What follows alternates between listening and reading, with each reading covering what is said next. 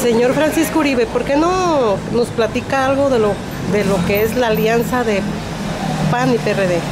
Sí, comentarle, acabamos de tomar la dirigencia aquí en el municipio de Mazanillo, donde me toca ser presidente del consejo. Este, es un partido renovado donde ingresamos hace algunos meses con el apoyo de muchos comerciantes. Tenemos mucha gente detrás y creo que este partido lo vamos a hacer partido fuerte, un partido joven. Y lo digo joven en el aspecto de que somos gente nueva, somos políticos que a lo mejor tenemos hambre de, hacer bien las cosas. Y bueno, este, comentarle sobre la alianza, este, no descartamos una, una alianza PAN-PRD, creo que las negociaciones están, esperemos que en días próximos ya tengamos resultados para decir si vamos. Ahorita lo que le puedo decir es que tenemos un 80% de, de seguridad de que es una alianza, pero prácticamente todavía se está negociando.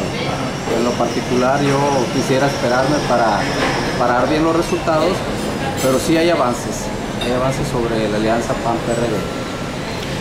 Chico, ya, ya comentaron la planilla que va a trabajar. ¿Cómo la ves tú?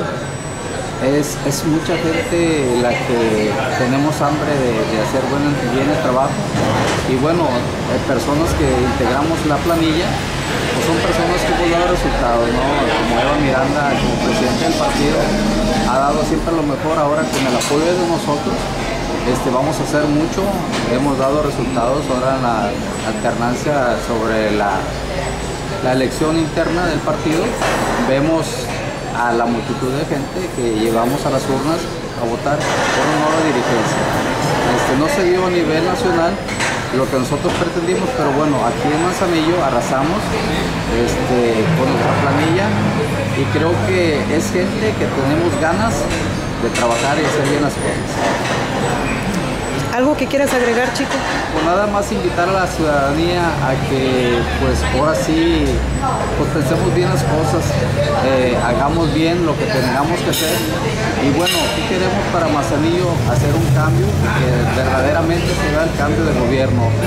Un cambio donde tenemos ganas de trabajar y hacer bien las cosas. Muchas gracias, chico. Francisco Uribe. Gracias. Gracias.